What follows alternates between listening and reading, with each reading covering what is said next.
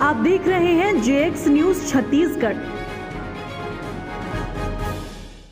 शराब के अवैध रूप से बिक्री करने के मामले में तीन आरोपी गिरफ़्तार। ज़िले की खड़गवा पुलिस ने की कार्रवाई। सात पेटी अंग्रेज़ी शराब की गई जब्त।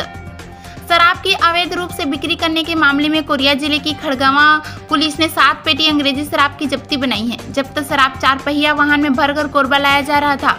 इस बीच पुलिस को सूचना मिल गई, जिसके बाद वाहन समेत शराब को जब्त कर लिया। मामले में तीन आरोपियों को गिरफ़्तार किया गया है।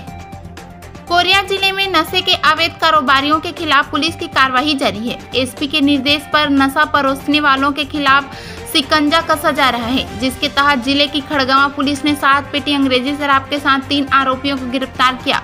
कोरबा के पसान थाना अंतर्गत ग्राम बीजाडान निवासी शंकर सिंह अपने दो साथियों के साथ चार पहिया वाहन में मध्य प्रदेश की शराब कोरबा में खपाने के लिए ला रहा था। मरवाही जरौंधा मार्ग के रास्ते वे कोरबा की सीमा में प्रवेश करने वाले थे, लेकिन पुलिस को भनक लग गई और आरोपियों को पकड़ने जरौंधा मोड़ के पास डेरा डाला। इस दौरान आरोपियों की कार वहाँ से निकली, जिसे घेराबंदी कर पकड़ लिया गया। कार की तलाशी लेने पर उसमें से सात पेटी गोवा शराब पाई गई। कार समेत शराब को जब्त कर पुलिस द्वारा तीनों आरोपियों के खिलाफ पुलिस द्वारा ज़रूरी कार्रवाई की जा रही है। दूसरे राज्यों की अपेक्षा छत्तीसगढ़ में शराब काफ़ी महँगी है। इस कारण लोग अधिक लाभ कमाने की फेर में मध्य प्रदेश से शराब की तस्करी करते हैं।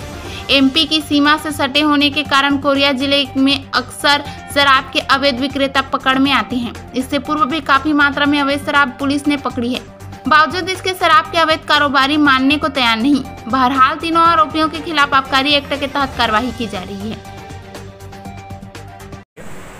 से सूचना मिली थी कि एक अर्टिका में शराब की खेप आ रही है और इसमें बहुत भारी मात्रा में शराब है। इस तरह से हमने नेकाबंदी कराया था और हमारे ठीक बॉर्डर से निकलती है सब शराब।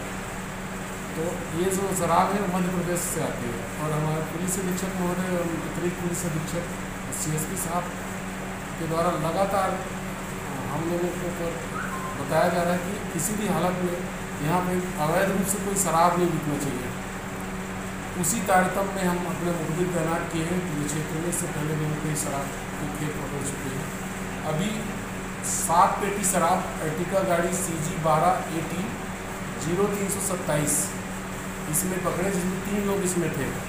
इसमें गुलाब सिंह, जयपाल सिंह और शंकर। शंकर जो है, वो ये मध्य प्रदेश से शराब ला के सप्लाई करता है। जयपाल को करता है। और ये लोग रखते कहीं और हैं और बेचते कहीं और हैं, लेकिन सौभाग्य से हमको तीनों लोग उसी में मिल गए एक साथ। इनके खिलाफ अपराध क्रमांक एक सौ इक्कीस आर्थिक इक्कीस धारा तीन चौंतीस दो आई पी सी आबकारी कार्रवाई किया गया है और उनको गिरफ़्तार किया गया है। कुल शराब की कीमत कितनी आती है? शराब तिरसठ लीटर शराब जब्त किया गया है गोवा का सात पेटी शराब है। ये लगभग पैंतालीस हज़ार रुपये इसकी बाज़ार में कीमत है जो उसमें प्रिंट लिखा हुआ है और आठ लाख की गाड़ी चलती है